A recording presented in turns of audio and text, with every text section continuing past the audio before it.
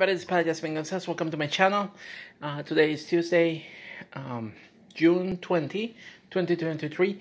I'm back from Puerto Rico. I'm back in my apartment. I did a lot of videos from Puerto Rico. I hope you have enjoyed them. And look, I came to find out that Stewart's here in New York has this amazing orange cream dairy shake. So I decided to try it. So I already tried it. I kind of like it. I'm going to give it another taste. Salute.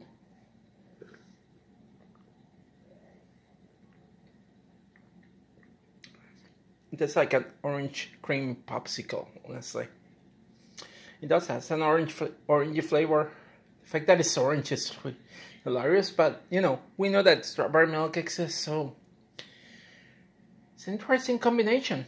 Well, I've never expected somebody to make a uh, one of those shakes like this with uh, orange. Anyway, you can find Stewart, so good luck.